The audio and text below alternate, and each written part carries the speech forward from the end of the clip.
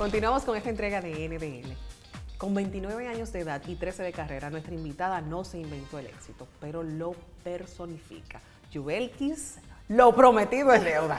Mira. Amor, trucos de belleza. Me va a comenzar a calcular los años, Luz. No importa, después que tú te veas siempre así, que sé que será así. Espero. ¿Sabes que una de las cosas eh, que más valoro de, de un ser humano y sobre todo de alguien que ha ido creando su propio éxito es la humildad y tú te manejas con mucha humildad. Eh, no pierdes de perspectiva tus orígenes y en más de una ocasión he visto que señalas orgullosamente que viviste una etapa de tu vida en Cristo Rey. Eh, ¿Entiendes tú que eso también es parte del aporte de, enseñarle al mundo y a la gente que cuando uno quiere, uno puede? Bueno, muchas niñas que sueñan, muchos jóvenes que también creen que, ah, no, ella lo logró porque eh, vive bien, es de buena familia, pero yo también vengo de, de personas humildes, que tal vez no nunca me faltó un plato de comida en mi casa, nunca me faltó algo para ir al colegio, pero yo me proyecté más allá y todo lo que tú piensas somos resultado de, los, de lo que soñamos, de lo que creemos que podemos lograr. Entonces, si yo pude, mucha gente, al igual que yo, también lo puede lograr. Y eso es lo que trato de, de siempre proyectar a través de mis redes, de que pueden salir adelante, que se esfuercen, que estudien, que trabajen, que no nos quedemos estancados en que, en que somos de un barrio, que demos lo mejor de nosotros. Dice que nunca te faltó un, un plato de comida, pero crecer en muchos momentos dentro de las escaseces nos hace limitarnos. Claro que sí. ¿Recuerdas tú de algo que te hayas limitado de pequeña porque no se te pudo dar en el momento? Bueno, que yo recuerde. Sabes que tenía un abuelo que me consentía bastante, pero, por ejemplo, yo muchachita, bien coquetica, mi mamá que siempre trataba de darme lo mejor. Eh, un diciembre que yo quería estrenar tanto el 31 como el día primero, no se podía, solo se podía para uno de esos dos días. Y yo recuerdo que, que estaba súper triste. Y mi mamá decía, tienes que darle gracias a Dios porque tienes la oportunidad que aunque no sean los dos días, vas a estrenar un día. Llegará el momento en que puedas estrenar, no, no un día ni dos, que puedas estrenar todos los días de tu vida. Y sin ella saber que yo iba a ser de los medios de comunicación, mira que, que ya no, le- nunca me había llegado eso a la mente, pero todos los días tenemos la oportunidad de ponernos ropa nueva, aunque sea para exhibirla para una tienda, pero sin, sin pensarlo. Mira cómo llega este mensaje hoy a mi vida. Tengo entendido también que tú fuiste y uno de tus primeros eh, trabajos eh, fue ser delivery de un colmado que tenía tu papá. Sí, que tiene mi papá. Ah, que todavía lo tiene. Todavía lo tiene. Sí, desde los cinco años. Mi papá me obligaba a acompañarlo al mercado, a hacer las compras que, que se tenían que hacer, que de, de las verduras, que los víveres. Y en el mercado me conocía todo el mundo como la llorona. Porque imagínate, a las 5 de la mañana usted levantar una niña de 5 años era como algo terrible, pero como yo vivía con mi abuela de, lunes a viernes, ya los fines de semana era como para estar con mi papá. Y esa era como la manera del poder dedicarme tiempo sin dejar el trabajo. Y me llevaba en el saco. Y yo llegaba, grito, grito, grito, ya llegó la llorona. Pero a través de esto, que yo sentía como una tortura en ese momento, yo nunca le he tenido miedo al trabajo. Mira como, por ejemplo, yo me iba todos los fines de semana, que salía de, de la opción de las 12 y llegaba a veces a las 4 de la mañana de estar en una de las patronales de los pueblos. Y yo nunca me cansaba. O sea, lo hacía con más amor y más cariño y más... Y nunca, nunca le he tenido miedo a, a dar lo mejor y a trabajar y a entregar. Quizás esto, eso te ayudó también. Hablabas ahorita de que te asesoraste con el tema de los salones de belleza, pero me imagino que esa también fue parte de tu primera formación en los negocios. Sí, porque es muy difícil. Mucha gente ¿cómo lo haces? O sea, corro 5 kilómetros al día, en la mañana. Luego voy a uno de los salones. Después de los salones voy al canal. Hago las cuatro horas de televisión, más hora previa de preparación.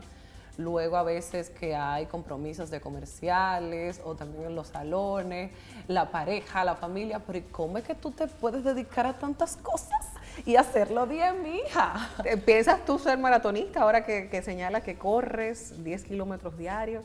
Ay, quisiera. ¿Aspiras o no?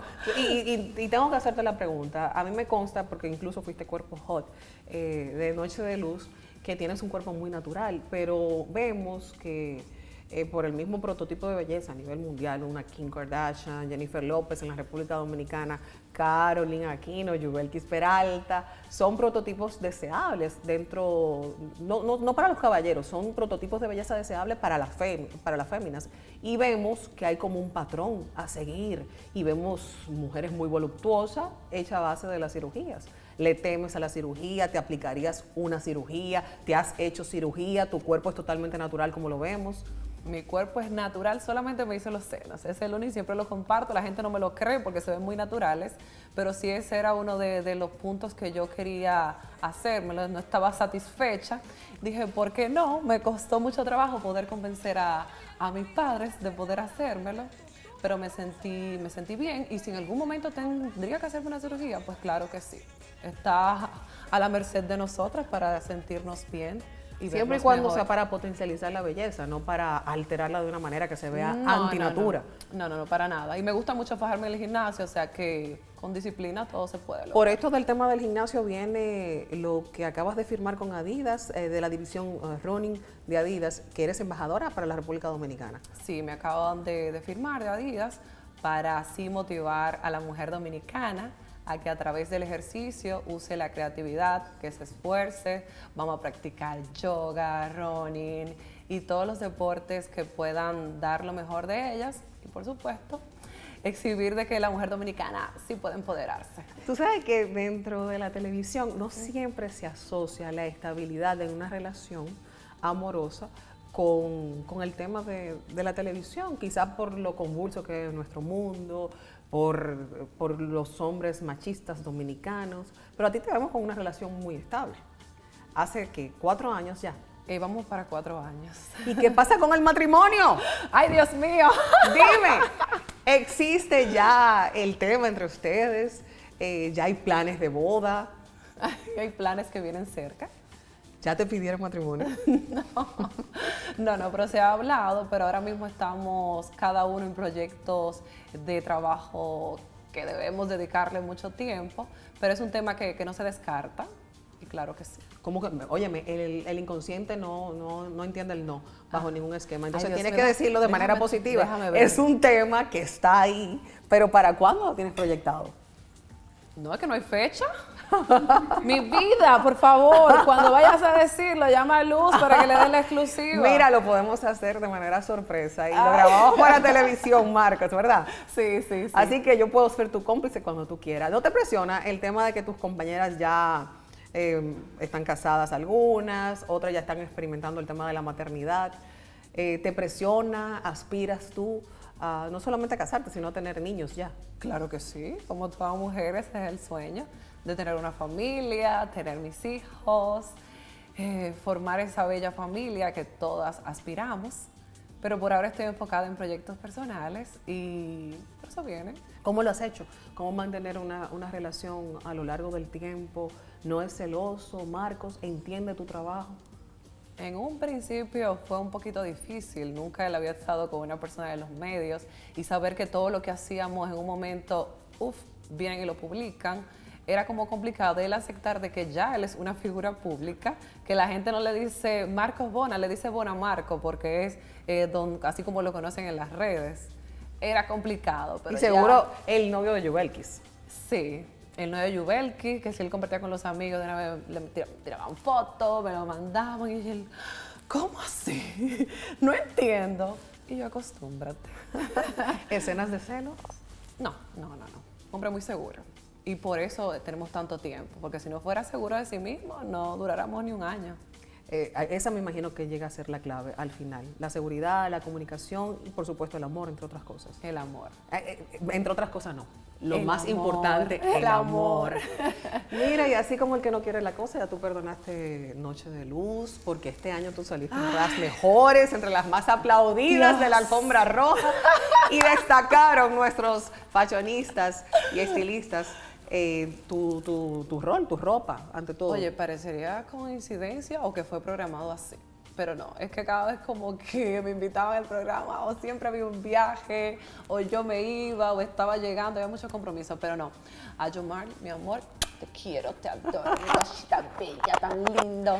Lo quería picar.